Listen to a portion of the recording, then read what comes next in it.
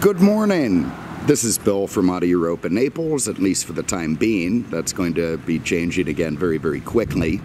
Uh, and I'm coming in today with this 2015 Mercedes-Benz S550. Uh, take a quick thing, a moment to appraise the situation. So, sorry I haven't been around too much, and I apologize for what I can already feel is going to be annoying wind noise. Hopefully, it's not as bad as I suspect. Uh, but uh, again, yeah, I haven't done a video in a little over a week. Uh, part of that is I've been watching the news as I drink my whiskey every morning and thinking what an incredibly screwed up, ridiculous world that we are living in currently. Uh, you know, it's very strange to watch just 10 to 30 minutes of news and discover that everything you believed about everything uh, is apparently now not the case at all, that things have changed entirely, uh, 100%. It has to be the most screwed up point in American history in my lifetime. Uh, obviously, there were uh, incidents in other lifetimes that probably compared. I certainly understand how the greatest generation probably felt when they saw naked baby boomers, uh, you know, leaping around uh, San Francisco with, you know, flowers, handing them to each other and, uh, you know, giving away stuff in free stores and not washing themselves for weeks on time. I, I get that level of revulsion now uh, that they must have felt because it really is quite ridiculous. I mean, it's just absolutely insane. Uh, what I read about Mount Rushmore the other day, I mean, for the love of God, can we not enjoy that some uh, dedicated guy carved some American heroes in the side of a rock uh, mountain somewhere up in South Dakota? I mean, does that have to be a bad thing now? Uh, apparently, everything does. So, uh, anyway, it's just becoming incredibly obnoxious, and I, I just want to withdraw from it all and, uh, you know, go back into my social distancing routine and uh, just stop watching the news, drink a little bit more whiskey, and maybe start enjoying cars a little bit more. And I'm going to start with this one. So again, 2015 Mercedes-Benz S550. Uh, it's nice I'm tripping over things here. Uh, this is the W222 platform. Uh, obviously followed the W221, although that's not always obvious in Mercedes uh, lineage. And it is the sixth generation S-Class. And the S is the standard of the world. I know that's a G, that's a Cadillac thing, but we're going to call it this car, the S, because this is the benchmark. This is the yardstick against which all other luxury cars are compared. Uh, even now, to the point of you could even bring Bentley and Rolls Royce into that. I mean, they've always held their own little lofty spot in the handmade segment, uh, and while the S has always been mass produced. Uh, but uh, even, you know, now the S is up in that level of sorts, albeit for a lot less money. But we'll get into all that as we go. Uh, so anyway, this is the yardstick. I mean, when you're pulling up somewhere in front of a very snazzy hotel or the UN building or uh, a house where a crime syndicate is meeting, uh, you can do it in an Audi or a BMW or uh, even a you know Hyundai Equus or whatever the hell those things are. And who cares? It's the guy who pulls up in the S class that's going to get the most respect and attention uh, because the S class is where it's at. I mean, if you're conducting global business, if you're, uh, you know, running, a, you know, the Bulgarian crime syndicate, if you're the Pope, if you're the Minister of Finance for Belgium, the S class is the transport of choice and uh, has been that way for six generations and will continue to be that way for the foreseeable future. Uh, in fact, I mean, this car has all the stuff on it that I crab about, all the little automatic. I mean, this is basically a, a, semi-autonomous car, uh, which means it's going to put up barricades around its little section of town and keep the police out while conducting stupidity inside. Oh, that's not what it means. It means it means it drives itself and it does a lot of stuff itself that usually the driver has to do. Uh, and uh, it, you know that to me is the essence of not driving. It's the essence of, you know, being detached from the car, which is frankly the last thing I want to do. I want to feel like I'm driving. I want to feel like I'm in command. And uh, the S does away with that in the physical sense, but does give you that in the emotional and mental sense. I mean, you may not be driving the car, but you are the friggin' captain of the universe if you're driving this thing. So you're in control of something. Uh, but that said, on this car, this one's stickered at about 120. Belongs to a good friend of mine, by the way. Very nice guy. Won't name any names. Um, his name's Ulf, a German guy. Uh, don't really trust the Germans, but what are you going to do? Uh, but anyway, uh, Ulf, you know, gave me this thing. He wants me to sell it for him. Uh, we're probably going to put it on Bring a Trailer at some point. I'm not sure if this is the video we're going to use or not. Uh, but, uh, you know, now I've, I've completely lost track of where the hell I was. Completely lost track. I am telling you, it's again the whiskey therapy, the pills, the bad living, it's all adding up anyway, we'll just get back into it. So the Master of the Universe thing uh, is what this car is all about, and uh, it's it's gorgeous. It's understated. It's elegant. It's imposing without being ostentatious. Uh, the lines on it are subtle yet very very rigid. Uh, you know, like most S class, it, it, has no sense of humor at all. I mean, this is not a car that's going to laugh at your jokes or be polite. Uh, it's just going to stare at you in a very menacing sort of way. And Ulf has made this one quite sinister. Uh, you can see it's got sort of a blackout taillight thing going. It's got a little deck lid spoiler. Uh, the wheels have been all murdered out. The door handles, the window frames, the grill, uh, even the pointy star on the hood has been murdered out on this car. And, uh, you know, many cars I would find that uh, annoying, but on this car I do think it looks quite nice and sinister. It just has a lovely vibe to it, uh, particularly when mated to the lovely crisp porcelain inside that, um, that contrasts very nicely with the car.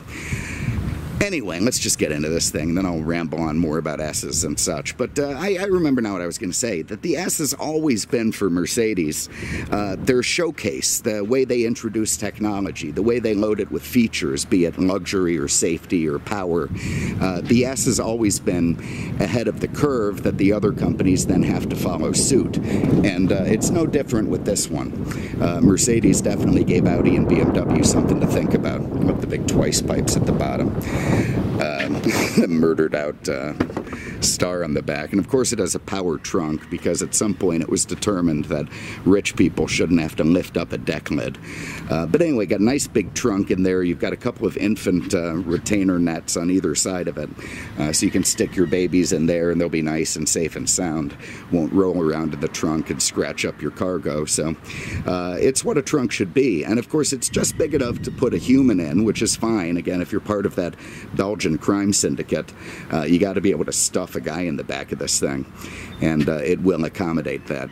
And then, of course, we got. Did you hear that shit? Did you hear them? I haven't heard those roosters in a long time. There's a bird right there sent to me. Probably the rooster sent him over as a scout. He's once, you I walk up to him if he gets tough or if he flies off. Hopefully he flies off. Yeah, there you go. Anyway, uh, what was I saying? The Bulgarian crime syndicate. Yeah, you have to be able to stuff people back there, which this will accommodate. To close it, you just press that guy, and down it comes. Very, very nice stuff. Let's have a look under the hood. Now, this is one thing that I could crab at Mercedes for a little bit. Oh, God, let me find the hood release.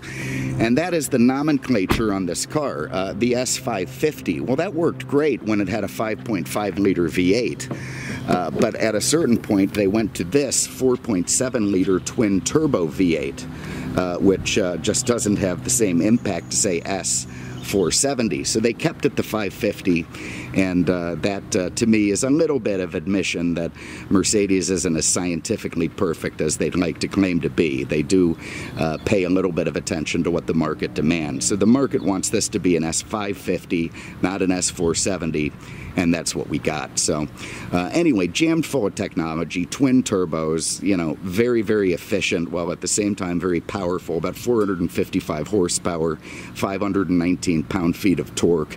Uh, it'll turn the quarter mile in about 13 and a half seconds, 0 to 60 in under 5, uh, which is very impressive for a Leviathan like this thing. Uh, you can see right here, it's got these. Um, little radar sensors right in the grill. That's part of the Distronic cruise and a variety of other safety features, including pedestrian collision. uh, warnings, which, it, you know, if it senses a, one of these diseased peasants in front of you as you're driving around, uh, it will uh, eventually apply the brakes for you and prevent you from hitting him and getting a lawsuit. Which actually brings me to one of my favorite Andrew stories. Uh, Andrew's the guy we used to work with. He's the head of the service, uh, owns the service department uh, for Auto Europa. Uh, very interesting, very nice guy. Uh, giant asshole in a variety of ways, and uh, an extremely sinister person. And he bought, uh, at least I should say, a BMW i3. You know that little horrible German toaster. Uh, at least one like the one that we had recently. And he read in a magazine article about it, you know, the night he got it, that uh, it had a pedestrian collision system. He thought, holy shit, okay, so I'm going to. So he gets Rob, the service writer, sticks him out in the middle of the road in front of the shop, and proceeds to hit him at 15 miles an hour. The, the thing made no braking attempt at all, did absolutely nothing. Rob goes over the hood of the car, comes down, couple cuts and bruises. You know, again, this is Andrew. This is the way he operates. So obviously at that point they gave up and moved on. Well, no, again, this is Andrew. So they did it two more times to uh, try and make it come on. Never came on. Uh, later on that night, Andrew determined that his car was not equipped with that package. So, uh, you know, that's just the kind of shit that honestly makes me love the guy and uh, why I like to keep him in my sphere. What a fantastic human.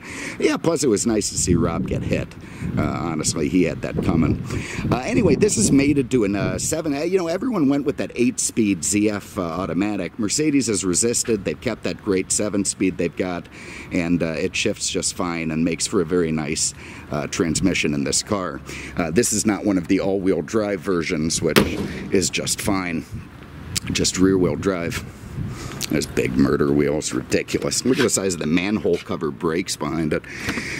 Okay, in the back seat, Mercedes put a lot of time and thought into making the back more luxurious with one thing in mind, and that thing is China. Uh, apparently, S classes used as chauffeured limousines are becoming incredibly frequent in China. So, Mercedes wanted the S to be uh, suitable for that. This is, of course, the long wheelbase version. Uh, we don't get the short one here in America and uh, it's also the one that they'd be sending over to China. You know, there's got a big, there's Pullman versions, there's extended beyond this version. It's like six or seven or eight different uh, body styles, uh, you know, for this car, a coupe, convertible. Uh, but uh, anyway, this is the most standard, and this is the one we get in the States. But uh, the reason that they put so much time and effort into making the back of this car luxurious and lovely is for the Chinese market. you can see it has power memory seats on both sides. Uh, those things will move to let you stretch out your legs. You can recline the seat back. Uh, you know, all very, very nice stuff. Uh, you get this giant center console here very nice. Couple of drink holders. Beautiful place to stuff uh, an elegant little uh, gold-plated 9 millimeter. If you're, uh, you know, again, the head of the syndicate, uh, you'll be able to get your gun in there no problem. And a couple of tumblers full of uh, Grand Marnier or whatever it is they drink. Uh, you also get a great little compartment back here to put something a little meaner if you need it. Maybe an Uzi 9 millimeter, Mac 10, you know, something. Maybe even a little paratrooper AK or something. you'll be able to get in there. Grenades. Also, I suppose sandwiches and bottles of wine. So it's got that. Uh, up here, there's another, I don't know what the hell that does. It's just a child seat retainer. And then you see that ambient lighting in the back. Uh, apparently it's got seven different uh, ambient lighting settings to match your mood. And uh, also, which I've left open, a nice big uh, uh, sunroof area, which you can shade if you need to. and of course, like uh, all of these luxury cars, you've got this, I don't know they get, Dinamica headliner or something. It's supposed to be suede, but isn't. And uh, if you need to powder your nose, then there you go. You got some mirrors there. You also got some oh shit handles with a nice leather wrap. Uh, I have to say that the quality of the interior, you know, now these are knurled metal uh, you know, were before they weren't. And that's the kind of stuff you find on Rolls Royce and Bentley, and uh, part of what makes it very, very cool and uh, very impressive that Mercedes was able to get it to that level. Uh, at that price point. Uh, just really neat stuff. Uh, being the Designo package, this has some special leather. You know, this is all beautifully wrapped leather. You've got the porcelain leather contrasting. You've got the piano black. Uh, it just all looks very nice and proper and uh, a lovely place to sit. Also, these power sunscreens and illuminated entry sills. So, absolutely very luxurious. You also get soft closed doors. Just get them close and they suck themselves in. Up front, uh, again, very gorgeous way this car was ordered. Love the contrasting uh, black and white, porcelain and ebony, whatever you want to call it, uh, with the piping in the seats. They're ventilated, they're heated, they're just very, very nice all around. The ventilation system is pretty cool. Uh, it sucks for the first couple of seconds before it starts to blow. you know what I'm saying. And uh, the reason for that is it apparently dries you off a lot better and uh, makes it uh, a little bit more comfortable for you. Again, all the lovely treatment on the door panels, the rich leather, the stitched uh, uh, you know, contrasting stitching. Nice little place here to against. Your chauffeur can put his 357 in there, so he's ready to go. And uh, you know, a very nice modern incarnation of the classic Mercedes door-mounted seat switch. Uh, also, a very trippy looking uh, speaker grill for these Burmester uh, speakers. I mean, I start staring at that thing and I might get epilepsy. It's just uh, like one of those little uh, uh kaleidoscopes you had as a kid. Uh, truly incredible. And I have to say that my complaint on Mercedes for the last few many years is that uh, they've gone from that incredible German craftsman stuff where everything's sort of hand built, hand put together, to something a lot more like Volkswagen and mass produced. Well, they have managed to do the mass produced look with with a fit and finish and a quality of materials that actually nullifies my complaints. And uh, that is part of what makes an S&S. I've been fired up. You get ambient lighting behind the screens. Uh, you got these two giant rectangular screens uh, in the dash. We've got keyless go, so I just hammer that, fire it up, and you've got some really two-dimensional looking analog gauges facing you. Let's turn this shit down for a minute. Get the seat bolt on. We'll see what we got here. You Get my ventilated seats on as well.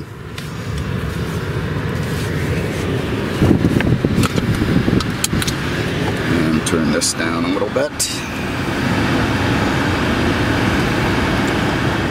Okay, so here you go. So here's your instrument cluster, which is all virtual, uh, completely uh, made up from uh, LCD, but you know, doesn't look analog. Uh, little complaint here, that's the fuel gauge now, the 65%, this tiny thing. I kind of prefer having a needle or a dial or something. I, it's hard for me to see that. Uh, but uh, anyway, there it is. Uh, you've got this uh, thing in the center where you can scroll through and get different, you know, trip computer, different display stuff. Of course, your miles. You go into each one and then you can go left and right somehow and then you get into different stuff. So you can, you know, you can customize this thing a lot to see how you like it. Uh, you've got, um, uh, what the hell else do you have here? What the hell is this? A heated steering wheel? Is that a, oh no, that's steering. The DTR steering is, obviously it's all steering by wire, this thing, uh, you know, designed to make you have feel and feedback, but it doesn't. It's all just, you know, basically the computer giving you the fake feel as it steers the car itself. On most cars, that bothers me. On this one, I get it. I mean, that's what an S-Class really is all about. Uh, it does have a blind spot. It has active blind spot, this car, so not only do you get the little yellow and red indicators if there's a car next to you, but if you move over and uh, the car is unhappy, thinks you're going to crash, because one of the seven cameras it has tells it it's going to crash, uh, it will actually apply brakes and steering to make sure you don't. So it's got that big German nanny there for you. Uh, what else do we have? We have this big giant navigation screen here, which is absolutely lovely to look at if you're into that sort of thing. Uh, you know, I'm glad it's not touchscreen because I don't like touchscreen. You end up with DNA all over your screen. I mean, it's nice initially, but then, you know, you use the thing for a week without cleaning and it looks like something you'd have in a crime scene or a cheap hotel. Uh, you know, using these uh, controllers for the command system to me is much more elegant and uh, a much better way to do it. So, of course, you got your navigation, you got your uh, radio. Uh, this thing is some sort of um, TuneIn radio, it's called. I can't remember exactly what it is, but I think that's it TuneIn radio. And what that does is uh, you can tune in streaming radio stations from around the world. Let's see if I can find that. Come on now. Oh, of God, I should have played with all this before I before I did it. There we go. Media phone. Uh, okay, so it's just clicking radio. It's not going down for me, which is annoying as hell. But anyway, take my word for it. Uh, it has streaming radio from around the world uh, into your navigations, your medias, your telephones, your so on, your so forth. Uh, you can get into your vehicle controls. Uh, let's see here like the way the screen comes driving up at you, your fuel mileage, so on and so forth, seat settings, and uh, that is neat stuff. In fact, this car does have, and I'm going to get them going right now, uh, six, count them, six different massage settings, including hot stone. So let's see, I'm going to put the driver massage on. Oh, there we go. Let's go wide open. Oh no, this is the backrest side. I don't want backrest sides. I want the damn massage. Come on now. Passenger. Oh, for the of God. All right, go back to here. Seat settings. Jeez, I should have driven this thing more. Where are we at? There we go. Massage. All right. Passenger, driver. Activating classic, mobilizing, active workout, decrease intensity. No. Hot, relaxing massage. I don't want a hot massage. It's 95 degrees outside. Let's do a classic massage and see what we got. But anyway, uh, this is the way the rich live. You know, they've got massage seats on the way to work uh, if they go to work. And, uh, you know, here we are battling the world in our crappy little cars without massage seats. Uh, this is one reason why I'm not totally opposed to going downtown with pitchforks and taking these people out. Uh, massage seats might be a step too far. Uh, you see all these knurled or, uh, you know, machined aluminum vents that it has. You've got like six or seven on one, two, three, four, five, six, and the clock. Uh, that's supposed to look like a lady's necklace. Uh, that's what the designer said of it. Uh, why that is, I don't know. I mean, if that's supposed to give you a little bit of a stiffy or something, thinking you're looking at a broad with a nice necklace okay, fine. Uh, but anyway, that was their plan, as weird as I feel that was. See if the AC on feels a little bit yeah, let's get that down a little bit. Uh, you see this Designo thing. Designo is, uh, and please don't say Designo. I can't stand it when people say Designo. Even if it were accurate, nobody should say it. Uh, but anyway, that's a Mercedes-Benz design house, you know, sort of their Bauhaus type thing, where a bunch of frilly goofballs with bad haircuts get together and talk about what they should name a color. And, uh, you know, they come up with special trim and colorations and other stuff to, uh, uh, to make these interiors a little more special. You have a real bona fide ashtray there if you're a smoker. Nice stuff. Good throwback. I guess only very rich and very poor people smoke anymore. Uh, you got more cup holders here, and then uh, you got some kind of a, I think that's just a garage door remote he left in there. But anyway, you got stuff. I don't know what this flips down to do. Now there you can cover your garage door holder. But anyway, all very, very nice stuff. I'm not immediately sure how you release it, but uh, I'm sure you can over here, and I want to get into this, you see you've got uh, the perfumery. Now this is a thing you can add perfume into that little jar. Mercedes gives you a few to start with, and that's going to uh, send the scent all around the car when you're running the air conditioning. Let me open this up so you can see it. All right, so here we've got uh, nightlife mood, sports mood, Pacific mood, and downtown mood. Uh, frankly, I'm looking for knee walking drunk, Asian massage, bag of cocaine, wake up at four in the morning, not know where the hell I am mood. So if we could have one of those in here, that'd be fantastic. Uh, but uh, otherwise, you know, this is the kind of stuff that drives me nuts. These are these frilly people, again, with the bad haircuts and the high salaries that get together in these little offices and feel important by coming up with names like sports mood. I mean, you know, God, if there's a revolution, you have another Joseph Stalin or, you know, whatever, these people are the first ones to get lined up against a wall and shot, and I may not be opposed to that. Have to think about that a little bit. Uh, up here, you've got self-dimming mirrors, you got your HomeLink garage doors, all these LED lights everywhere. This was the first car, I think, that used zero incandescent bulbs. It had over 500 LED lights. Uh, it also has things like airflow strategies. It's got four different strategies for airflow in the car that you can set uh, with your climate control settings. I mean, it's just and absolutely ludicrous. So, AC off. Good lord, no wonder I'm not chipper. Let's get that on and make it freezing. Whatever asshole did that to me is going to pay. Uh, there's your little mouse setup here that, uh, you know, with the back button and the programmable star button. Uh, Airmatic suspension. This one doesn't have the Magic Ride, uh, which is both. Uh, by the way, where the hell did Mercedes come up with Magic Ride? Magic this, Magic that. I mean, give me a friggin' break. The, the, I mean, it sounds like something from a, you know, kids' uh, magic trick set. A Magic Ride? I mean, for the love of God, Mercedes, uh, you know, come up with something a little bit better than that. But uh, anyway, uh, Magic Ride is a very advanced form of the old ABC suspension that uses the cameras to detect bumps in the road. And, uh, you know, if it sees a speed bump, you're coming up to it at 50, uh, it'll make the front shocks go completely limp, independent of each other if need be. And uh, you won't even feel the bump as you go over it. you know, this with the, the standard air suspension doesn't give you that. But I also have to say, as time goes on, maintaining the Magic Ride versus maintaining Airmatic, uh, probably be happier with the latter. Love the little burled knobs. You know, this is the kind of attention to detail I like.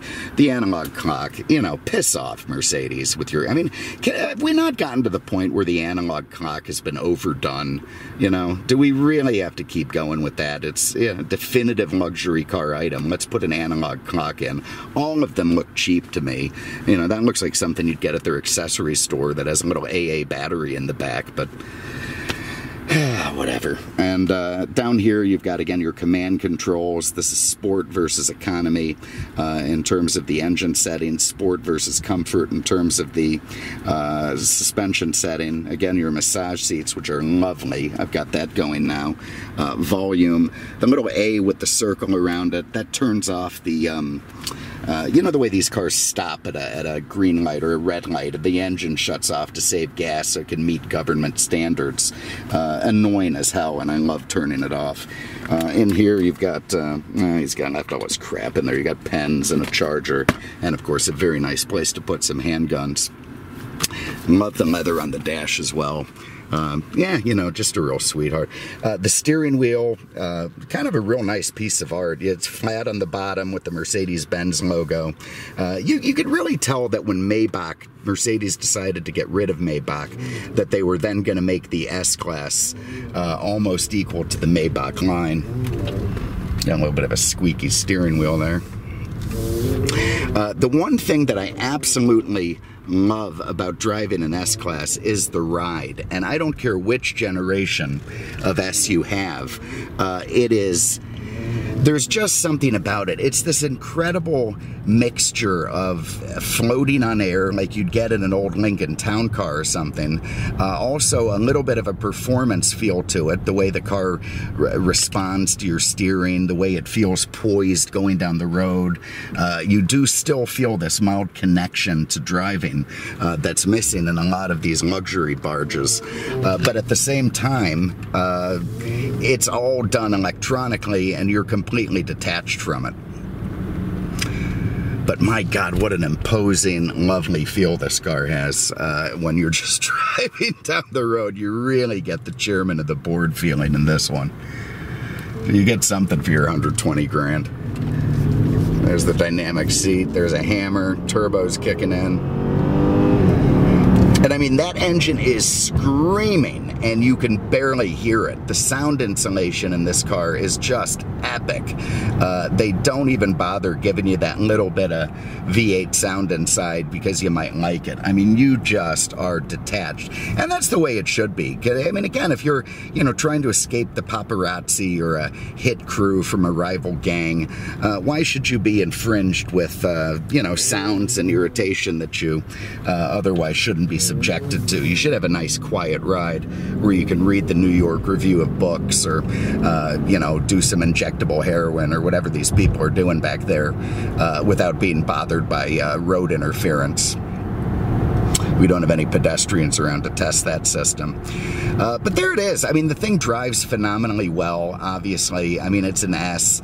And uh, it, uh, you know, despite being just filled with every kind of ridiculous high-end autonomous feature, it has traffic. It has traffic jam assist.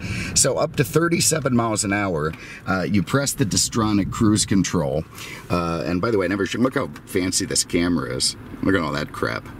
Very, very cool. But anyway, you press the Distronic Cruise. It goes into this traffic jam assist mode uh, where it'll steer the car left and right, uh, keep it in the lane using the cameras, and uh, run it up to 37 miles an hour and take that uh, menial task of keeping up in a traffic jam away from you. So, uh, very special stuff for Mercedes. We'll see if we can't see the roosters and run them over. Uh, and by the way, after 37, it gives you a light and a warning and beeps, but it will keep doing it. Beeps and warnings aside, uh, it'll go up to 125 miles an hour, and if the car in front of you panic stops, so will this. And uh, it just you know detaches you from the need to worry too much about what's going on. Uh, also has active parking assist, so it'll turn the wheel for you into a. Uh, uh, all you have to do is work the brake and the gas. It'll parallel park for you. Yeah, you know. It, wipe your rump for you as well. It's just one of those things. It's the future. Uh, hopefully, the future isn't what I'm watching on the news right now. For the love of God, what is the matter with these purple haired nitwits? No idea, no concept. Uh, so anyway, there it is. I mean, I could go on and on and on. I mean, there's no time to go through all the features this thing has. It's absolutely incredible. But I'll just finish by saying that yes, the S-Class is still the yardstick, is still the benchmark, is still the standard of the world for what a luxury car should be. And forget about, you know, taking it out on BMW and Audi. Mercedes is, there's the phone. Mercedes is coming after uh, Bentley and Rolls-Royce with this thing. You know, they've really, oh, for the love of God. I know it should have been on airplane mode. It wasn't. Deal with it. Uh, but anyway, they're coming after Bentley and uh, and Rolls Royce with this thing. They, you know, why stop with uh, why stop with their contemporaries? Let's get even higher. So a guy can maybe buy uh, a Benz that costs a hundred grand less and feel as luxurious, if not more, uh, than some of the uh, the Bentley products out there. And I think that's what Mercedes is up to. They want to, you know, bridge the gap between uh, what we think of as a mass-produced luxury car and uh, what they're capable of emulating in terms of a hand-built car. So anyway, ramble, ramble, ramble. Quit there.